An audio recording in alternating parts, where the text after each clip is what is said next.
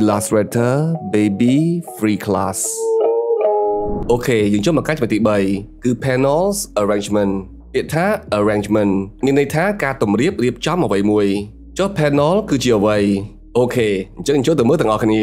ពាក្យថា panel មានន័យថាផ្ទាំងអ្វីមួយគ្រប់យ៉ាងដែលយើងបានឃើញនៅលើផ្ទាំង interface របស់យើងទាំងអស់នេះគេហៅថា panels មានដូចជា control panel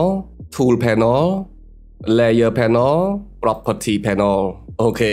វាមាន panel ជាច្រើនទៀតបើយើងចង់ធ្វើការ Spider panel របស់យើងយើងចូលមកកាន់ window menu ទាំងអស់ទាំងអស់នេះគឺជាឈ្មោះ panel ដែលមាននៅក្នុងកម្មវិធី Adobe Illustrator ចឹងយើងឃើញថា Adobe Illustrator វាមានបម្រើបម្រាស់ជាច្រើនដែលអាចជួយឲ្យការងាររបស់យើងកាន់តែរលូនល្អអូខេមួយនេះគឺអីគេនេះ property យើងឃើញអត់នៅពេលយើង tick វាអញ្ចឹងមានន័យថាយើងបើកវាដោះវាមកបចបាត់ហើយឃើញអត់ចង់បើកវាវិញយើងចូលកាន់ window menu properties ចុចបចមក window menu មកទៀតឧទាហរណ៍ color ចុចលើក color នេះមកវាបង្ហាញអីគេមួយទៀត color panel ហើយ panel របស់យើងតម្រៀបជា tab បែបនេះយើងអាចធ្វើការទាញវាដាក់កន្លែងណាក៏បានដែលការទាញតម្រៀប panel បែបហ្នឹងគេហៅថា panel arrangement នឹងឯងអូខេឧទាហរណ៍ចង់ឲ្យ layer panel របស់យើងនេះនៅខាងក្រោយនេះវិញចុចឲ្យជាប់ទាញវាមកយល់ឃើញអត់ទៅខាងក្រោយបាត់ហើយចុចឲ្យជាប់អូមកក្រៅមកគឺវាអណ្ដែតនៅខាងក្រៅបែបនេះតោះនេះប៉ុណ្ណឹងទីមកវិញមក អណ្ដែតទៀតហើយចង់ទាញបញ្ចូលគ្នាវិញយើងអូសវាដាក់ចូលទៅក្នុងយើងឃើញអត់នេះមានសញ្ញា highlight ពណ៌ខៀវបែបនេះលែងមកមកគឺវាចូលទៅតែម្ដងមួយទៀតយើងអាចទី panel របស់យើងនេះដាក់កន្លែងណាក៏បានយើងឃើញអត់វា snap ពណ៌ខៀវបែបហ្នឹងលែងមកមកវាតម្រៀបពីលើដល់ក្រោយបែបនេះគឺវាអត់ចូលគ្នាជា tape បែបនេះទេតោះនេះប៉ុណ្ណឹងអូខេទីមកក្រៅវិញមកមកក្រៅវិញទីចូលគ្នាវិញមកដាក់ឲ្យចំពីលើនេះចេញ highlight ពណ៌ខៀវបែបហ្នឹងលែងមកចូលហើយអូមកឆ្វេងវិញ នេះគឺជាការតម្រៀប panel នៅក្នុងកម្មវិធី Adobe Illustrator ហើយមួយទៀតពាក់ព័ន្ធជាមួយនឹង tool panel របស់យើងយើងមើលខាងលើនេះមានសញ្ញាព្រួយមួយចុចបាច់មកវានឹងបង្ហាញ tool របស់យើងជាពីរជួរបែបនេះគឺយើងងាយស្រួលស្វែងរកឧបករណ៍របស់យើង បិទបាច់មកវាបង្ហាញតែមួយជួរបែបនេះពីលើដល់ក្រោមវាធ្វើឲ្យផ្ទៃរបស់យើងកាន់តែទូលាយជាងមុនប៉ុន្តែយើងឃើញថាឧបករណ៍របស់យើងនេះមានតិចដំបូងឡើយវាបង្ហាញតិចបែបហ្នឹងជាលក្ខណៈ basic tool បើចង់បង្ហាញឧបករណ៍ទាំងអស់តែម្ដងចុចលើសញ្ញាចុច3នេះចុចបាច់មកបន្តមកទៀតចុចលើសញ្ញា trace 3ខាងលើនេះចុចបាច់យើងយកពាក្យថា advance មុនហ្នឹងគឺជា basic ឃើញអត់ជា advance មកបាច់យើងបង្ហាញឧបករណ៍ទាំងអស់ឲ្យយើងតែម្ដងអញ្ចឹងឃើញថា tool របស់យើងចង់បង្ហាញមួយជួរក៏បានពីរជួរក៏បាន មួយទៀតពាក់ព័ន្ធជាមួយនឹង panel ផ្សេងទៀតយើងក៏អាចធ្វើការទាញវាឲ្យធំទៅបានដូចគ្នាឧទាហរណ៍ layer របស់យើងនេះចង់ឲ្យធំជាងហ្នឹងដាក់ cursor ឲ្យចាំកែរបស់វានេះមកឲ្យឃើញសញ្ញាព្រួយពីរបែបនេះចុចឲ្យជាប់អូមកយើងឃើញអត់វាធំជាងមុនចុចឲ្យជាប់ទាញទៅវិញវាតូចជាងមុនអូខេឲ្យធំទៀតមក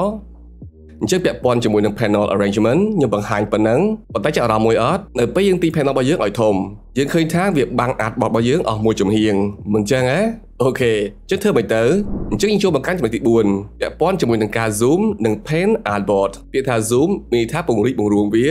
ពាក្យថា pan មានន័យថារំកិលពង្រីកបង្រួមនិងរំកិល artboard ដើម្បីកុំឲ្យវានៅពីក្រោម panel របស់យើងដូចមុនអូខេអញ្ចឹងចុះទៅមើលទាំងអស់គ្នាអូខេអញ្ចឹងបង្ហាញពីរបៀប zoom មុនដោយសារតែ artboard របស់យើងវាធំអញ្ចឹងវាហៀចូលទៅក្នុង panel របស់យើងខាងក្រោមនេះអញ្ចឹងយើងអាចធ្វើការ zoom វាឲ្យតូចជាងមុនចង់ zoom វាពីប្រើឧបករណ៍មួយនេះគឺ zoom tool keyboard shortcut របស់វាគឺអក្សរ Z ជាអក្សរ Z មកចេញ zoom tool របស់យើងហើយយើងឃើញមានសញ្ញាកែពង្រីកមានលេខបូកពីក្នុងមានន័យថាយើង zoom in zoom ឲ្យធំជាងមុន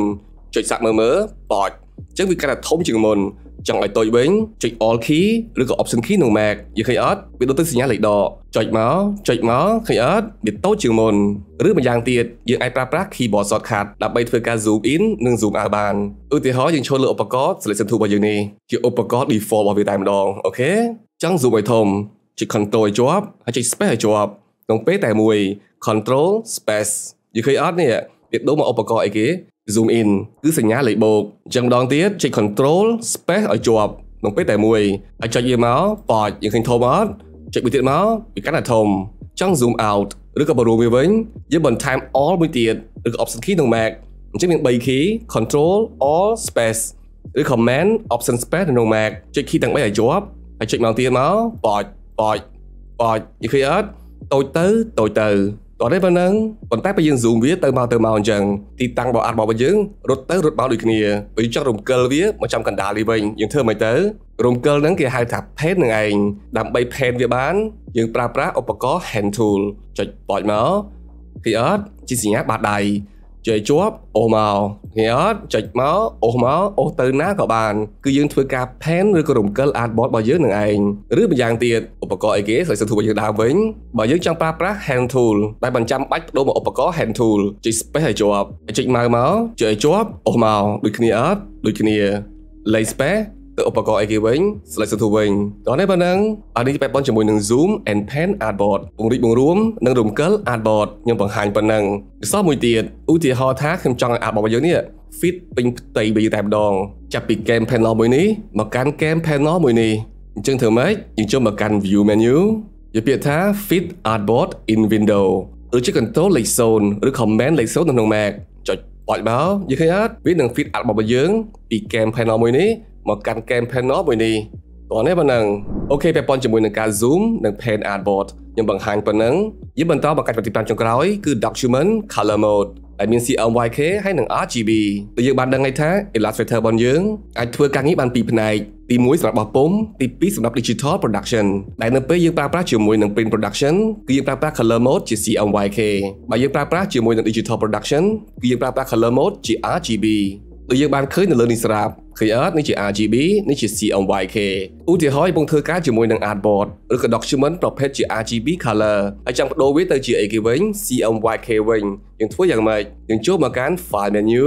document color mode យើងដូរកន្លែងហ្នឹងចុច CMYK color នេះមកបចឃើញអត់ចេញ CMYK មួយនេះគឺ CMYK អញ្ចឹងបដូរវាមក RGB វិញចូល file menu document color mode យក RGB color តោះនេះប៉ុណ្ណឹងអូខេអញ្ចឹងមានន័យថាយើងអាចធ្វើការបដូរ color mode បានគ្រប់ពេលដូរទំហំបានគ្រប់ពេលក្រោយពេលយើងបង្កើត artboard រួចចាប់ដូរទំហំ artboard យើងដឹងហើយយើងប្រើប្រាស់ artboard tool ដូរកន្លែងនេះ width ហើយនិង height ចង់ឲ្យបញ្ឈរឬក៏ផ្ដេកយើងប្រើប្រាស់ orientation របស់វា portrait landscape អូខេខ្ញុំជឿថាគ្នាយើងនឹងឆ្ងល់តើ CMYK ហ្នឹងពាក្យពេញវាអីគេ RGB ពាក្យពេញវាហ្នឹងអីគេនៅពេលនេះកុំទាន់ខ្វល់ពីវាគាត់តែដឹងថាការងារជាមួយនឹង print production យើងប្រើប្រាស់ CMYK